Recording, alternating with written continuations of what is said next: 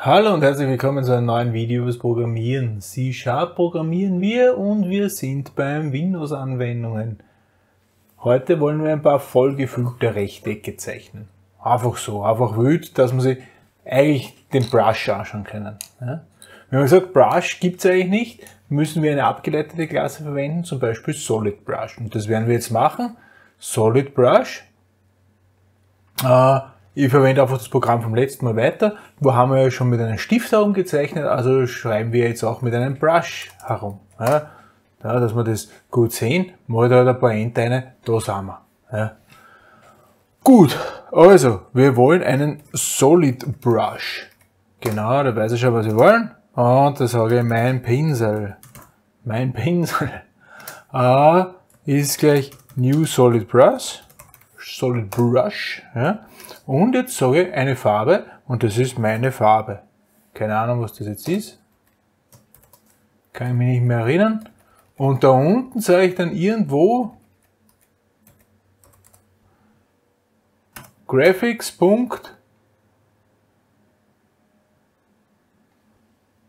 Fill Rectangle zum Beispiel, Fill Rectangle.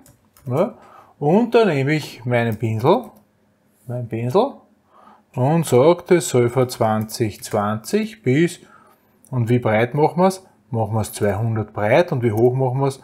Machen wir es, machen wir es 150 hoch. Sehen wir eh gleich, wie groß das ist.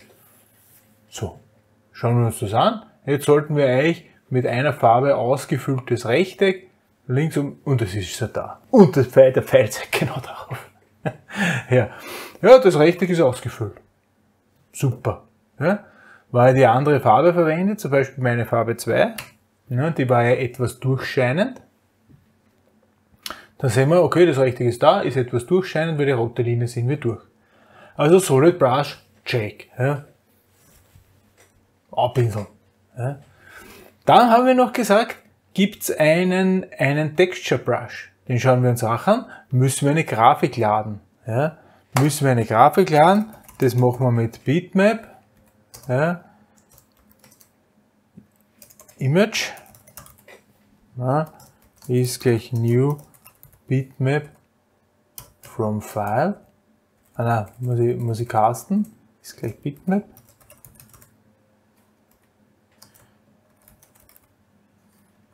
Image.from File. Genau so machen wir das.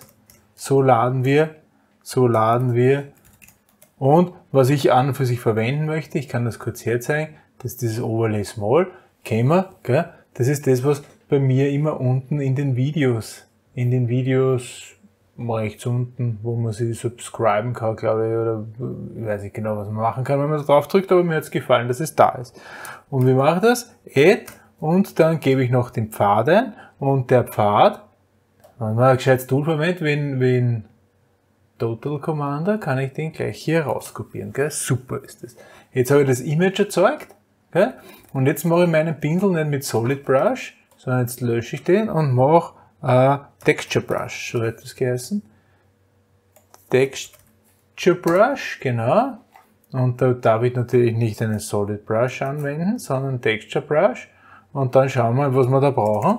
Und der will ein Image, ne? Image. Genau. Und dann nehme ich meine Variable, das da, was ich da oben gewählt habe. Passt. Und da unten, das lasse ich gleich, dann mache ich das gleiche Rectangle und dann schauen wir uns an, was jetzt passiert. So hat es vorher ausgeschaut. So schaut es jetzt aus. Also gekachelt. Ja. Kann man beeinflussen, wie das gekachelt werden soll und so weiter. Äh, brauchen wir es jetzt nicht anschauen, aber nur und da sehen wir sogar die transparenten Bereiche dieses BNGs werden da unterstützt, äh, weil man sieht diese rote Linie durch. Ja? Super. Super. Das ist also der Texture Brush. Und einen haben wir noch kennengelernt. Einen haben wir noch kennengelernt. Äh, das war der, der Gradient Brush. Gradient Brush hat der geheißen. Linear Gradient Brush, genau das war. Und was die jetzt genau macht, das schauen wir sich an. Da brauchen wir aber mehr Sachen. Ja? Da brauchen wir, wenn wir sich das anschauen, was wir da brauchen.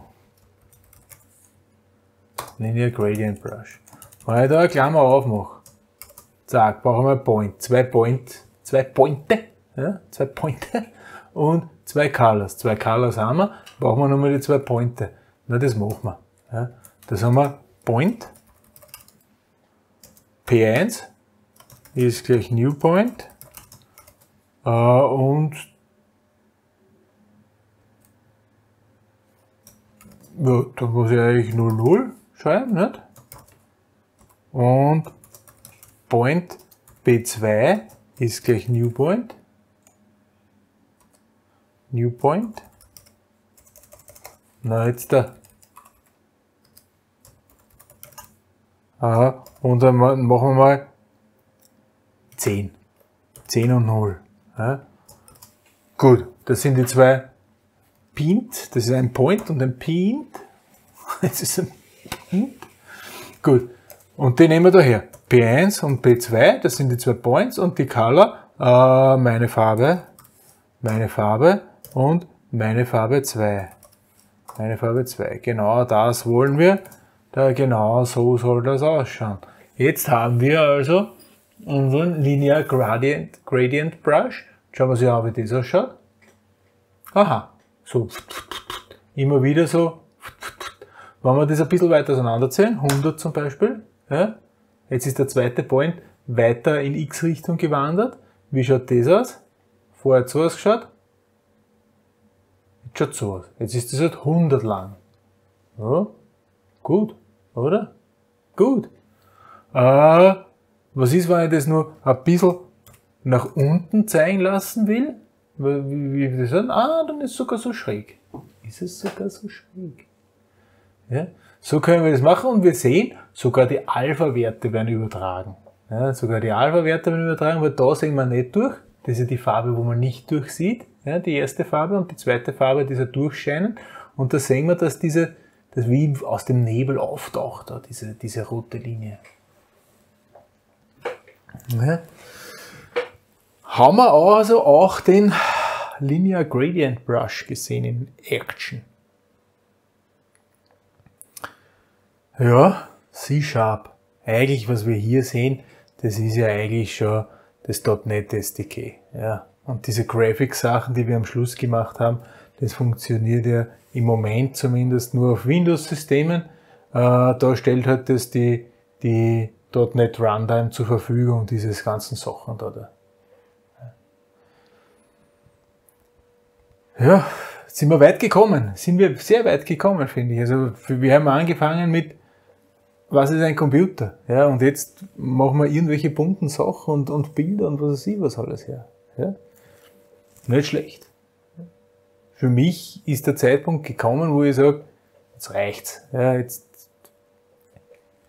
Natürlich können wir nicht programmieren in jedem Detail. Das ist schon klar. Das ist aber auch gar nicht das Ziel. Das Ziel ist, dass wir das kennenlernen und dann uns weiter selbst einarbeiten können, sollten wir das brauchen.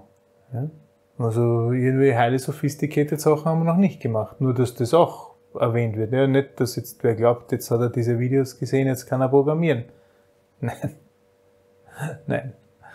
Aber jetzt hat man zumindest einen guten Startpunkt, weiß, wie die Strukturen sind, weiß, wie man weiterkommt.